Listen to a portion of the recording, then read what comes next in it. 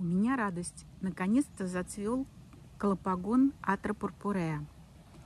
Вот он. Аромат, красота. Не хотел цвести э, очень долго, несколько лет.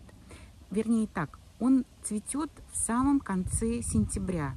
И, видимо, ему не хватало климатических погодных условий в предыдущие годы, чтобы зацвести.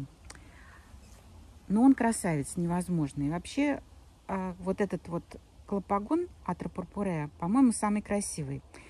Он самый бордовый. Раз. Он компактный.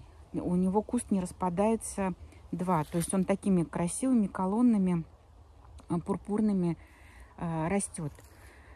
Ну и, наконец, на этих бордовых вот эм, э, стеблях Белые цветы смотрятся невероятно красиво. Аромат очень приятный. Не знаю, почему называется это растение клопогоном. Наверное, клопам этот аромат не очень нравится. А вот пчелам нравится.